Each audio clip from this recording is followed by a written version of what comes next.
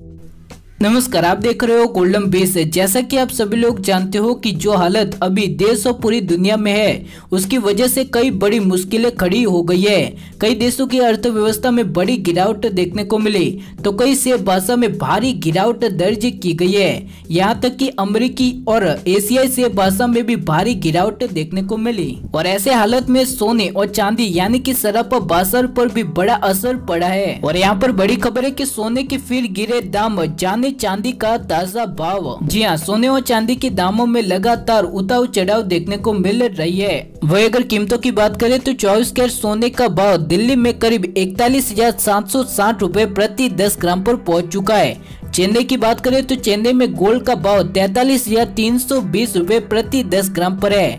वही कोलकाता में बयालीस हज़ार साठ रूपए प्रति दस ग्राम के स्तर पर पहुँच चुका है। और ऐसे में सोने के भाव में ज़ीरो पॉइंट ग्यारह प्रतिशत की गिरावट देखने को मिली। हालाँकि चांदी की कीमतों की बात करें तो चांदी के भाव में तीन प्रतिशत की तेज़ी देखने को मिली, जिसके बाद चांदी का भाव उनचालीस हज़ार एक सौ दस रूपए प्रति किलोग्राम के स्तर पर पहुँच चुकी है। वही बात करें भारत के बड़े शहरों में बाईस कैट और चौबीस कैट सोने की कीमतों के बारे में तो यहाँ पर चेन्नई, मुंबई, नई दिल्ली, कोलकाता, बेंगलुरु, हैदराबाद केरल, पुणे, बड़ोदरा, अहमदाबाद, जयपुर, लखनऊ कोयम्बटूर मुदेर, विजयवाड़ा, पटना, नागपुर, चंडीगढ़, सूरत, भुवनेश्वर, मैंगलोर, विशाखापट्टनम, नासिक और मैसूर की प्राइस यहाँ पर दी गई है। चलिए तो इसी के साथ में नीचे अपने राज्य का नाम ज़रूर लिखे ताकि आपके राज्य की कोई भी बड़ी खबर हो तो हम तुरंत ही दे सके।